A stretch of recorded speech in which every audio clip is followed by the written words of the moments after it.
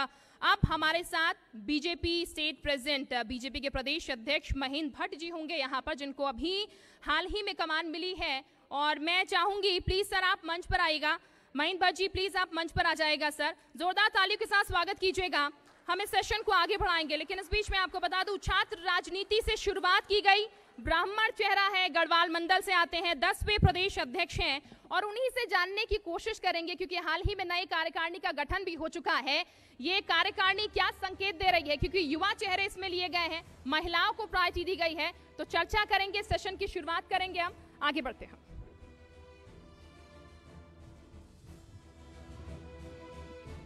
सबसे पहले बहुत स्वागत सर आपका। बहुत धन्यवाद। अपना कीमती समय आपने दिया। और मैं अध्यक्ष बनने के बाद पहली बार और जी न्यूज़ जैसे बड़े चैनल के पास मुझे आने का अवसर मिला। मैं आप सबको हृदय से आपका आभारी हूँ। बिल्कुल। सर चूँकि ज़िम्मेदारी मिल चुकी है छात्र राजनीति से आपने शुरुआत की थी और अब एक बड़ी ज़िम्मेदारी आपके कंधों पे है। हैट्रिक लगाने की तैयारी कैसे चल रही है? क्योंकि दो दो ज़िम्मेदारी है 2024 भी है निगम चुनाव भी है। देखिए भारतीय जनता पार्टी एक कार्यकर्ता आधारित संगठन है। और आज मुझे दायित्व मिला है, मुझसे पहले भी बड़े महत्वपूर्ण कार्यकर्ता हमारे दायित्व पर रहे हैं।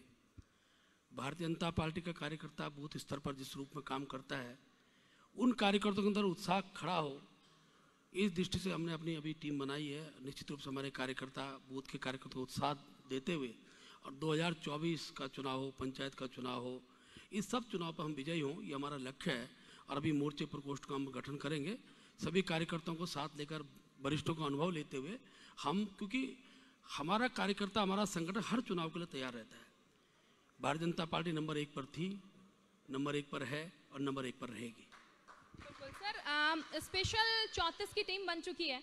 नई कार्यकारिणी का गठन हो चुका है। युवा चेहरों को उसमें रखा गया है महिलाओं को उसमें फोकस रखा गया है। टारगेट 2024 है?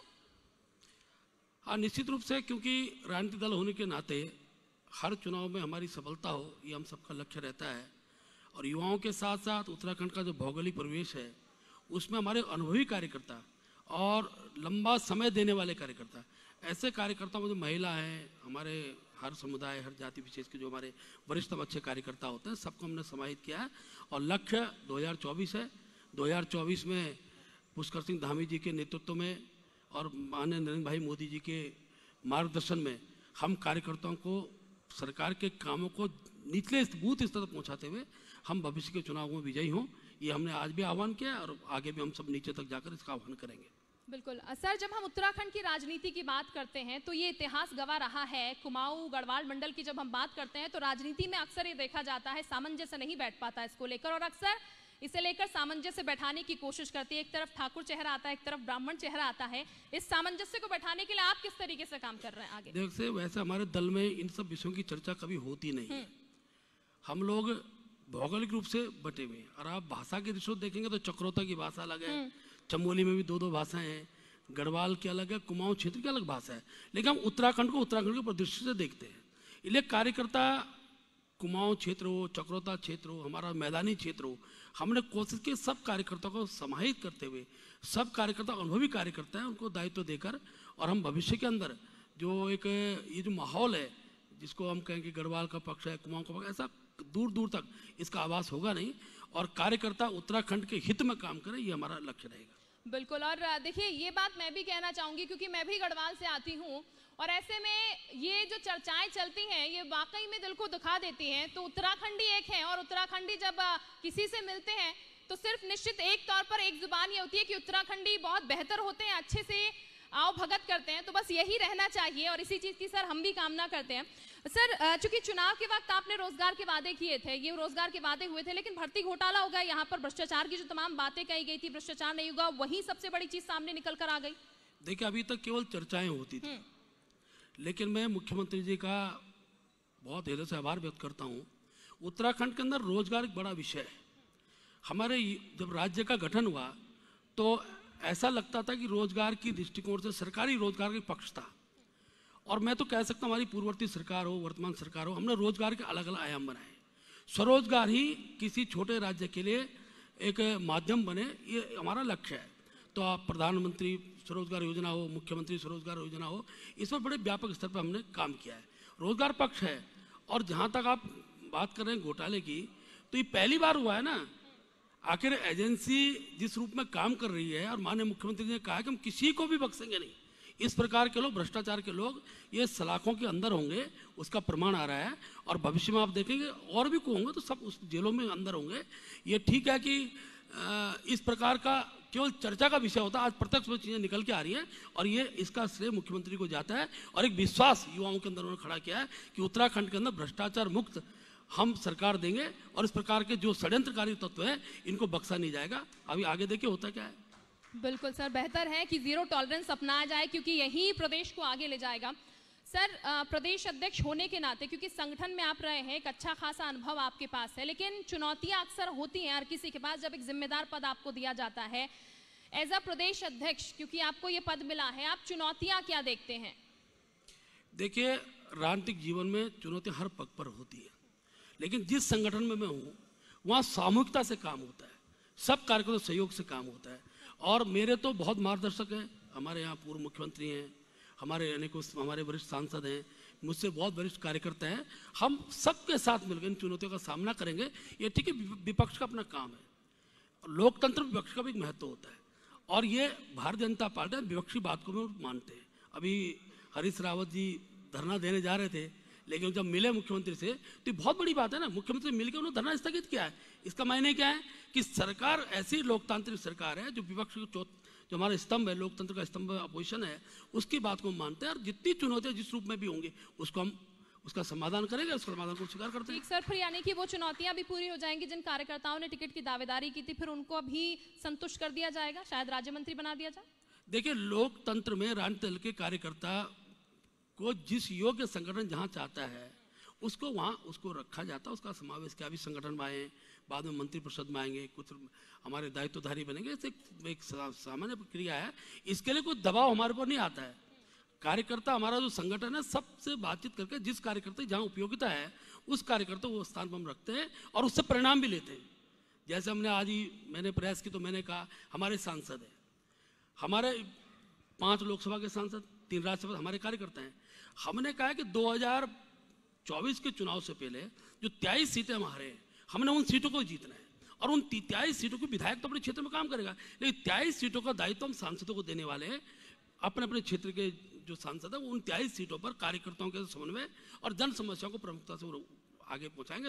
राज्य स्तरीय समस्याओं का समाधान यहाँ होगा, केंद्र का वहाँ होगा। इसलिए हर कार्यकर्ता, हर सांसद को, हर विधायक को हमने 2024 के चुनाव में उत्तराखंड की 70 की 70 विधानसभा को जीतना है। और उसके लिए हमने कहा है कि अभी चंपावत मॉडल को हम अपनाएँगे। चंपावत में हम twenty four percent total polling का हमको प्राप्त हुआ है।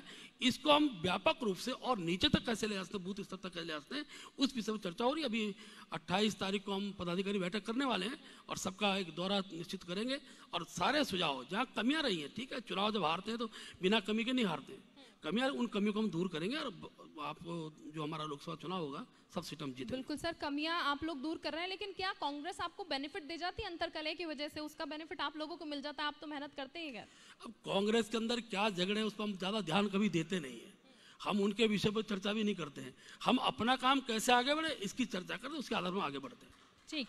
सर चूँकि 2024 का चुनाव नज़दीक है राष्ट्रवाद की बात होती है हिंदुत्व की बात होती है एजेंडा क्या रहेगा 2024 के लिए आप लोगों का? देखिए, राष्ट्रवाद हमारे संस्कार में हम्म। राष्ट्रवाद के बिना हम देश की एक समग्रता की कल्पना भी नहीं कर सकते। संस्कार हमारी जीवन पद्धति का अंग है, इसलिए राष्ट्रवाद हमारा सदैव रहेगा। ये राष्ट्रवाद कईयों को अच्छा लगता है। मैं तो कहता हूँ आप तो देश के अंदर हर जगह अच्छा लग रहा है ना। सब जगह हमारी सरकारें आ गई हैं, लोकसभा में सबसे आगे हमें और लगातार जन समर्थन मिल रहा है। तो राष्ट्रवाद भारत के अंग में है, और उसको मोदी जी ने हमारी सरकारों और प्रमुखता दी है। बिल्कुल। आ, सर आ, अगर राजनीति की हम बात कर रहे हैं तो देखिए जनता के सरोकार से जुड़े मुद्दे जो हैं वो अक्सर सामने निकल के आते हैं और निश्चित तौर पर आप जब इलेक्शंस में उतरते हैं कोई भी जनप्रतिनिधि इलेक्शंस में उतरता है तमाम उन्हीं मुद्दों को लेकर बातचीत होती है। महँगाई एक बहुत बड़ा मुद्दा है जो कि अक्सर उठाया जाता है और वो हर सरकार में उठाया जाता है। ज़ाहिर तौर पर आपकी सरकार में भी उठाया जा रहा है और काफ़ी ज़ोर शोर से उठाया जा रहा है। कांग्रेस कहती है कि जब आपका समय था तो जब पेट्रोल के दाम अगर दो रुपए भी बढ़ा दिए जाते तो कांग्रेस बीजेपी सड़कों पर आ जाती थी, लेकिन आज पेट्रोल, डीजल के दाम इतने हो रहे हैं। देखिए, थोड़ा अगर हम विश्व के प्रदेश के हिसाब से देखेंगे, कोरोना काल के बाद महँगाई केवल भारत के अंदर ही नहीं आई, पूरे विश्व के अंदर इसका एक प्रकोप आया है। लेकिन हम तो सौभाग्यशाली कि नरेंद्र भाई मोदी ने कभी महसूस नहीं होने दिया। और जब जब ये विषय उठे हमारी सरकार प्रयास रहता है, हर में हमेशा गंभीर रहती है, उसके लिए हर संभव प्रयास किए जाते हैं, उस दिशा में हम प्रयास भी कर रहे हैं, और ये भी सत्य है। अगर 2014 का परिदृश्य हम देखेंगे तो हर मुद्दे पर जन आंदोलन खड़ा होता था, महँगाई के मुद्दे पर खासतौर पर आज अगर ये संभला है तो कहीं ना कहीं प्रति व्यक्ति आय में भी संभलने की स्थिति उत्पन्न हो गई है। आज लोगों का विश्वास है, मोदी जी पे हमारी सरकार में विश्वास है, इसलिए जब ऐसे घटनाएँ होती जब इस प्रकार का वातावरण बनता है तो हम चीज़ का ध्यान रखते हैं उसको समय समय पर महँगाई का जो प्रभाव है उसके लिए क्या सुधार किया जा सकता है? सुधार करने का हम लोगों को प्रयास रहता है। ठीक। सर हरक सिंह रावत की हम जरा बात कर लेते हैं। हालाँकि आपने कहा हम कांग्रेस क्या करती है उसकी बात नहीं करते हैं। लेकिन जब बीजेपी में बीजेपी में थे तो दिखते थे लेकिन अब कांग्रेस में ज़ोर शोर से वो गए थे। इमोशनल भी काफ़ी हो गए थे कि दगाबाजी उनके साथ की गई है। लेकिन अब कांग्रेस में नज़र नहीं आ रहे सर। वो पता नहीं कांग्रेस में कितने दिन रहेंगे मैं नहीं कह सकता उनके बारे में। वो जाए वहाँ है। ठीक। सर चूँकि हम रोज़गार की एक बार फिर से बात कर रहे हैं, और खासकर जब मैं उत्तराखंड के लिहाज से बात कर रही हूँ तो उत्तराखंड की भौगोलिक परिस्थिति जो हमने देखी हुई है किस तरीके की, और यहाँ पर रोज़गार की जब हम बात करते हैं तो बहुत सारी दिक्कतें यहाँ पर आ जाती हैं। पलायन की समस्या यहाँ पर आ जाती है, खासकर इसकी बात की जाए, और अक्सर हम ये कहते हैं किस तरीके से हम पहाड़ के व्यक्ति को पहाड़ में रोके, ताकि वो शहरों का रुख ना करे। इसको लेकर सरकार किस तरीके से, सर, काम कर रही है? क्योंकि ये बहुत अहम मुद्दा है। देखिए, उत्तराखंड का राज्य आंदोलन जो था उसके प्रदेश में दोनों बातें थी। एक तो हमारा पलायन सड़क शिक्षा रोज़गार व्यवस्थाएँ ठीक ना होना चाहे बिजली हो चाहे पानी हो। अभी माननीय मंत्री जी यहाँ पर बोल रहे थे स्वास्थ्य के क्षेत्र में गुणात्मक सुधार हुआ है। जहाँ पूरे प्रदेश के दो आईसीयू थे आज हर ज़िले में है। सारी बातें उन्होंने बोल उसको दोहराना नहीं चाहूँगा। इसके साथ साथ कोरोना काल के बाद हमने अनुभव किया है बड़ी संख्या में लोगों का उत्तराखंड वापसी हुआ है। हमारे अनिल बलूनी जी ने सब संबंध में अच्छे प्रयास किए सबका आह्वान है। और सड़कें पहुँचने से आज मैं लेकिन सर पलायन को लेकर कांग्रेस तो कहती है आप आंकड़े देख लीजिए आंकड़े तो कुछ और कहते हैं। बीजेपी भले ही कुछ भी कहती हो कि पलायन रुका है, लेकिन कांग्रेस लोग तो- पलायन कर रहे हैं। कांग्रेस तो पलायन को रोकने की कोई पक्षधर रही नहीं। रही होती तो विकास होता ना। आज आज सड़कें गई गाँव गाँव गई पानी की व्यवस्था हर गाँव बिजली है। मोबाइल टावर यहाँ भी तो मेरे यहाँ माना में भी है। हर सुविधा, अभी कोरोना काल में शिक्षा के लिए मोबाइल की कितनी आवश्यकता हो गई थी? सब व्यवस्थाएँ जुटती हैं तो लोग आते हैं। और हमने भी आह्वान किया है, आज सेना के क्षेत्र में जो लोग सर्विस करते हैं रिटायरमेंट के बाद हमने आह्वान किया कि घर उनका पहाड़ में होना चाहिए। और बने, आप अपने गाँव में देखे ना, आप पहाड़ की आपने कहा है, आप पता करिए, अब से पाँच सात साल पहले के बाद कितने लोगों ने अपने नए घर बनाए, ये बन रहे हैं। और धीरे धीरे मैं कह सकता हूँ कि हमारा जो धार्मिक पर्यटन है, साहसिक पर्यटन है, और जो उत्तराखंड के परिदृश्य में जो हमारा दायरा सोचने का पक्ष है। बड़ी संख्या में देश के पर्यटक उत्तराखंड की ओर आएँगे। अभी जिसमें होम स्टे का विषय आया तो मैं कह सकता हूँ जैसे जैसे युवाओं के सारे विषय का ध्यान आएगा, चीज़ें आएँगी तो बड़ी संख्या में लोग आएँगे। और मैं इस मंच के माध्यम से अपने उत्तराखंड के पूरे देश के और उत्तराखंड का तो देश ही नहीं, पूरे विदेशों में हमारे लोग रहते हैं। सबका श्रद्धा भाव और राज्य के प्रति बना है। क्यों? जब विकास वहाँ तक पहुँच गया सबके घर बनेंगे, सब लोग घर में आएँगे, सब गाँव आएँगे। बिल्कुल सर, ये हो पाए तो इससे बेहतर शायद यहाँ की जो ऑडियंस बैठी है, वो भी कहेगी इससे बेहतर कुछ हो नहीं पाएगा शायद कि अगर लोग पलायन सरकार वाकई रोक पाए और जो लोग हैं, जो कि, क्योंकि जब गाँव पहुंचो तो देखकर बड़ा दुख होता है कि घरों में ताले लगे हुए हैं, खंडर हो गए हैं, घर, छतें टूट गई हैं और वो जो रौनक दिखती थी अक्सर गाँव में अब नहीं दिखती है। तो सर, इस पर वाकई में अगर कुछ बेहतर हो रहा है तो बहुत अच्छा है। बहरहाल सर, हम आगे बढ़ते हैं। नई कार्यकारिणी की हम बात कर रहे हैं, चूँकि हाल ही में नई कार्यकारिणी का गठन हुआ है। युवा चेहरों को आपने तवज्जो दी है, जो कि बहुत अच्छा है। महिलाओं को तवज्जो दी गई है, जो कि बहुत अच्छा है। युवा चेहरों को तवज्जो देकर सर ऐसा तो नहीं कुछ जो पुराने कार्यकर्ता हैं या पुराने नेता है वो दरकरार होगा। अगर ऐसा हुआ तो फिर सर उनमें सामंजस्य कैसे बैठेगा? उन्हें कैसे संतुष्ट करेगी बीजेपी? आप। देखिए भारतीय जनता पार्टी में हर कार्यकर्ता का संगठन में उनका प्रयोग होता है। उनको लिए कुछ ना कुछ दायित्व रहे होते हैं। ये ठीक है कि संगठन पुराना हो और उसमें नए लोग ना आए तो फिर संगठन का विस्तार होने में दिक्कतें आती हैं। हमारे हर संगठन में प्रयास रहता है कि नयों का समावेश हो। यही हमने इस संगठन में किया है और पुराणों का अनुभव भी हमको प्राप्त हुआ तो पुराने भी हैं, नए भी अनुभवी भी हैं और जो लोग आज तक दायित्व में थे, वो हम सबसे किसी न किसी रूप में हमारे उनसे मिलना होता है, उनसे बातचीत होती है, कमेटियाँ बनती हैं, उनका और हर अनुभव हमारे 28 आपके विभाग हैं। हर विभाग के ना योग्यतम व्यक्ति की आवश्यकता है। हम सबको उन विभागों में, सबका उनका सहयोग लेते हैं। हमारे अठारह प्रकोष्ठ हैं अट्ठारह प्रकोष्ठ सबका सहयोग लेते हैं। हमारे मोर्चे, अब युवा मोर्चा है युवा मोर्चे में हमने तैतीस साल उम्र रखी है। तो तैतीस साल वाला जब तीन साल बाद छत्तीस का हो जाएगा ना तो फिर वहाँ नए आने स्वाभाविक है। महिला मोर्चा है, पैंतीस साल है तो पैंतीस साल से चालीस साल के बीच की है। तो चालीस साल वाली बहन जो हमने पिछली बार अपनी अध्यक्ष या उपाध्यक्ष बनाई होगी, वो तीन साल का कार्यकाल बाद तैतालीस की हो जाती है तो नए आना स्वाभाविक है। तो संगठन में नयों का समागम, ये भी आवश्यक है संगठन के व्यापक विस्तार के लिए। और लोकतांत्रिक संगठन है, हर तीन वर्ष हमारे संगठन के चुनाव होते हैं। और संगठन की जो कार्य पद्धति है, उसमें पक्ष है कि नए भी आए और पुराने का अनुभव भी रहे।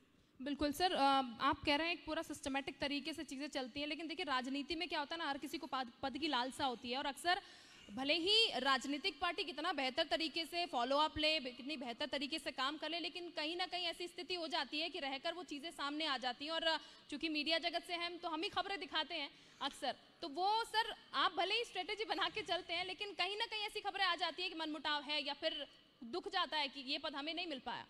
देखिए कई बार क्या होता है कि बीजेपी के मनमुटाव को समझने में समय लगता है। हमारे यहाँ व्यक्ति अपनी बात रखता है। चर्चाएँ होती हैं। निर्णय के बाद सब उस निर्णय को मानते हैं। इसलिए उसको मन मुटाव का दृष्टिकोण से नहीं देखना चाहिए। सामूहिक निर्णय की पद्धति से हम लोग काम करते हैं। ठीक है कार्यकर्ता को अपनी बात रखने का स्थान मिलता है, उस स्थान अपनी बात को करता है, उस पर चर्चा भी होती है, लेकिन निर्णय सामूहिक होता है। मैं आज अध्यक्ष हूँ, मैं कौन सा निर्णय मैं करूँगा? संभव नहीं है। मेरे वरिष्ठतम कार्यकर्ता हैं, सब कार्यक्रम चर्चा करते हैं, जो किसी विषय पे भी चर्चा होती है, सामूहिक चर्चा होता है, ये ठीक है, उसमें बहुत से विषय निकल के आते हैं। कई बार लगता है कि इनका विरोध है। लेकिन निर्णय होने के बाद कहीं ये विरोध झलकता नहीं है, ये हमारी संगठनिक कार्य पद्धति का हिस्सा है। सर, अब जरा अग्निवीर पर आ जाते हैं, क्योंकि बहुत विरोध हुआ इसका कोटद्वार से भर्तियाँ भी शुरू हो गई और कम भर्तियों की बात भी बीच में ऐसे सुनने को मिला कि कम भर्तियाँ भी हो रही हैं। लेकिन सर बीजेपी कह रही है, यानी कि आप लोग कह रहे हैं कि अग्निवीर योजना जो है बहुत बेहतर है। एक बच्चा जो कुछ इतना उस उम्र में समझ भी नहीं पाता तब तक स्टेब्लिश हो जाएगा वो अपने करियर के लिए आगे। लेकिन आपको क्या लगता है कांग्रेस जो है इतनी पुरजोर तरीके से इसके खिलाफत क्यों कर रही है? आखिर क्यों बीजेपी कांग्रेस को समझाने में सक्षम नहीं हो पा रही है? देखिए हम उन लोगों को समझाने सक्षम है जो आज भर्ती लाइन लग पे आ रहे हैं। जितनी अपेक्षा नहीं थी उससे ज़्यादा लोग आए हैं। कितने रजिस्ट्रेशन हुए हैं? अब विषय कांग्रेस दूसरा बोल रही है कि जिनके रजिस्ट्रेशन हुए उनका सबका होना चाहिए। तो पहले तक तो ना करो। आज कांग्रेस के सबका करो। तो ठीक है, विपक्ष के नाते उनको विषय रखना है। आज हम सब हमने अग्निवीर के संदर्भ में जहाँ जहाँ नियुक्त और हमारे कार्यकर्ता वहाँ, उनकी सब व्यवस्थाएँ कर रहे हैं। कुछ विषय आए थे निकल के तो सतपाल महाराज जी का विषय आपने, आप आगे पूछेंगे। उन्होंने रक्षा राज्य मंत्री से बात किया थोड़ा सबको विश्वास रखना चाहिए। जो विषय हमारे केंद्र तक जाता है उस पर सामूहिक निर्णय जो बहुत जल्दी निर्णय सबके सम्मुख होगा। अब सर, आपने क्योंकि ज़िक्र कर दिया तो पर्यटन विभाग मेरे दिमाग में आ गया यहाँ पर। पर्यटन विभाग की जब हम बात कर रहे हैं तो हम हिमाचल की ज़रा बात कर लेते हैं। वहाँ हम देखते हैं बहुत बेहतर तरीके से पर्यटन जो है डेवलप हो रहा है। निश्चित तौर पर उत्तराखंड में भी पर्यटन को लेकर काम हो रहा होगा लेकिन सर उस गति से नहीं हो रहा है शायद क्योंकि अगर पर्यटन बढ़ जाएगा यहाँ पर उत्तराखंड में तो रोज़गार भी मिल जाएगा शायद पलायन भी रुक जाएगा एक तीर से कई निशाने लग जाएँगे। ये ठीक है कि हिमाचल बने कितने वर्ष हो गए उत्तरांचल बने आप? लगभग 2000 से ठीक। 2022 साल है। और ये भी सत्य है कि इस बार की चारों धाम की यात्रा में जितने लोग आए हम्म, ये भी एक रिकॉर्ड है। बिल्कुल। अभी all weather road Bharatmala road railway की कनेक्टिविटी संचार की व्यवस्था बिजली की व्यवस्था होम स्टे आप मैं विश्वासपूर्वक कह सकता हूँ अगली बार तो शीतकालीन यात्रा भी प्रारंभ होगी। कि सतपाल महाराज जी ने जो पूरे अपने इस संबंध में जो मॉडल तैयार किया है मैं विश्वासपूर्वक कह सकता हूँ और उत्तराखंड ऐसा राज्य होगा जहाँ वर्ष भर पर्यटक आएँगे। साहसिक पर्यटक आएँगे हर प्रकार के पर्यटक आएँगे। तो हमारा राज्य थोड़ा समय दीजिए क्योंकि आज हम हिमाचल से अपनी तुलना हिमाचल ठीक है विकसित किया है सब कुछ हुआ है हर क्षेत्र में लेकिन अच्छी सरकार आती है तो उस दिशा में काम होता है। ये ठीक है बीच बीच में कुछ अदल बदल हो रहा था इस बार वो भी इतिहास बना है पुष्कर सिंह धामी जी के नेतृत्व में हमने उत्तराखंड के अंदर विकास की सरकार को दोबारा हम यहाँ पर लाए हैं और जनता के सहयोग से हुआ है। तो जनता को विश्वास हुआ कि हाँ भारतीय जनता पार्टी की सरकार में पर्यटन को भी बढ़ावा मिलेगा रोज़गार के साधन बनेंगे और सब प्रकार का विकास उनको दिखाई दे दोबारा आ रहे हैं। और फिर हम हैट्रिक बनाएँगे। ठीक बिल्कुल सर। हैट्रिक बनाएँगे सर क्योंकि डबल इंजन की सरकार आप लोगों की हो गई है यहाँ पर और हैट्रिक बनाने की बात आप कह रहे हैं तो डबल इंजन की सरकार है तो ज़ाहिर तौर पर उत्तराखंड को भी बेनिफिट इसका मिलता हुआ नज़र आएगा। बिल्कुल उत्तराखंड में भी हम क्योंकि देखो मैं तो कहता हूँ नरेंद्र भाई मोदी जी का जन्म भले गुजरात में हुआ उनका प्राण उनकी आत्मा उत्तराखंड में बसती है। भव्य स्वरूप देखिए केदारनाथ जी का। बद्रीनाथ जी के बारे में। अभी गंगोत्री यमुनोत्री की बारी है। ऐसा पर्यटक, पूरा विश्व का पर्यटक वो दिखाई देगा और हर क्षेत्र में विकास, हर क्षेत्र में विकास। ये ठीक है कि हमारे राज्य के संसाधन अभी कम है, उनको बढ़ाने का हम लोग प्रयास कर रहे हैं। सब दृष्टि से, और ये हमारा सौभाग्य है कि मोदी जी का पूरा मार्गदर्शन सबको मिलता है और इस राज्य के अंदर जो विषय को लेकर हमारे प्रदेश सरकार के मंत्री, केंद्र सरकार के मंत्री, भारत सरकार में जाते हैं, किसी चीज़ के लिए ना नहीं हुई है। एक एक चीज़ को, क्यों? सबकी श्रद्धा इस राज्य के प्रति है। और ये विशेष प्रेम जो है प्रधानमंत्री का, वो अक्सर उनके संबोधनों में सुनने को भी मिलता है। जब हम देखते हैं, वो कहते हैं, उत्तराखंड के लोगों से, उत्तराखंड से खासकर उनका विशेष प्रेम है और विशेष प्रेम है तो ज़ाहिर तौर पर उत्तराखंड जो है, जिस विकास की हम बात कर रहे हैं, इस मंच से उस विकास की और अग्रसर भी हो रहा है और डबल इंजन की सरकार है तो उम्मीद होनी भी चाहिए कि बेहतर कुछ और उत्तराखंड के लिए होगा।